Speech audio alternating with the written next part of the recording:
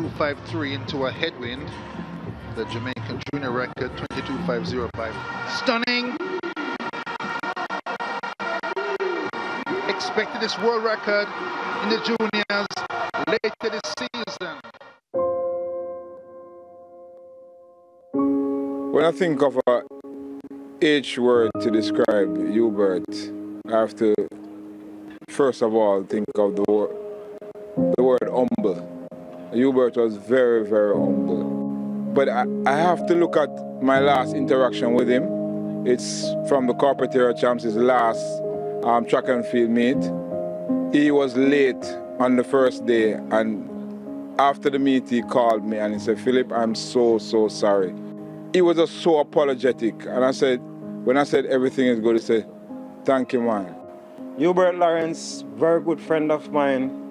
You know, I worked with Hubert for the last 15 years, 15 to 20 years, and I must say that's a, a great guy, understanding, special person, very humble, and you know, we're all gonna miss him very dearly.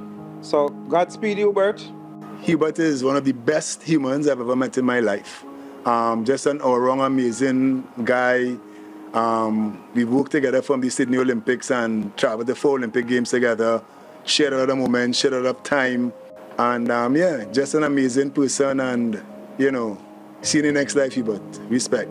I met Hubert in 2010, coincidentally for the Caribbean Games in the Caymans. Um, if I had to describe him using a word starting with the letter E, that I'd use two of them exuberant, exciting.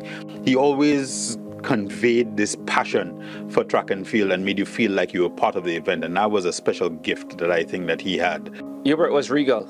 And he was regal in every sense of the word. He was magnificent, he was impressive, he was dignified. Hubert Lawrence was not just outstanding at his work, but he was a great human being.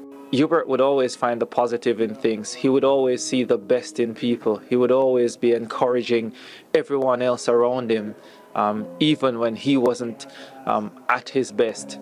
He was a special individual, and I think he's going to be missed in so many ways. One letter that comes to mind when I think about Hubert Lawrence is the letter T.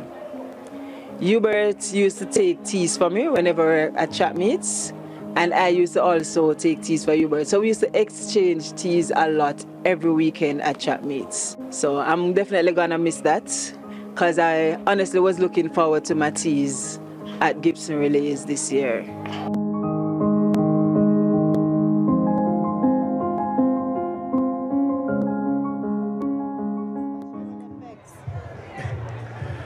Yeah, Hubert will be dear.